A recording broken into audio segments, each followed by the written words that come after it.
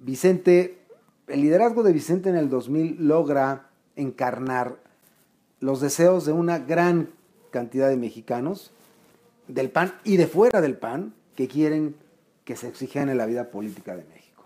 Que ya no podemos continuar con otra vez lo mismo y que había un cambio de siglo, había cambio de milenio, había, se había democratizado ya todo el mundo, en todas las naciones semejantes a nosotros ya había habido alternancias y México estaba atrasado en eso. Había un sentimiento natural, más allá de si se simpatizaba con el PAN o con Vicente, de que era bueno para el país la alternancia de partidos. Que era tiempo de que el PRI se hiciera un ladito un rato, ¿no? O para siempre, depende de cómo lo pensara cada quien. Vicente se lanza y anuncia que va por Los Pinos la noche de la elección intermedia de 1997. Hay un momento en el que en algunos segmentos del partido, no en todos los militantes, el poder comienza a ser un fin por sí mismo.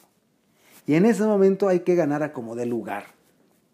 Y en ese acomodé lugar se empieza a perder la esencia del pan, la mística del pan, el estilo del pan, los valores del pan. De suerte que entonces empieza a separar lo que yo llamo el panismo del pan, que es la tesis central del libro, entre paréntesis, la tesis central del libro que estoy lanzando a la discusión por primera vez en la historia del PAN y no sé si de, de algún partido en México, esta separación, hoy podemos hablar de que el PAN es una estructura, es una organización, es una maquinaria electoral.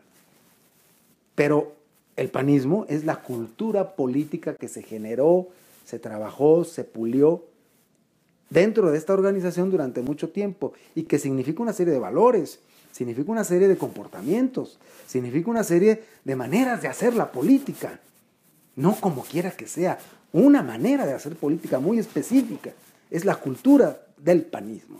Bueno, hoy lo que estamos viviendo, y esta es para mí la esencia del problema de hoy, de la crisis de hoy, es que este panismo, que es la esencia del pan, empieza a tener un proceso de, declinación muy fuerte que hace que la estructura y que hoy se mueva por mecanismos y voluntades que no respetan ni tienen nada que ver con la esencia del panismo.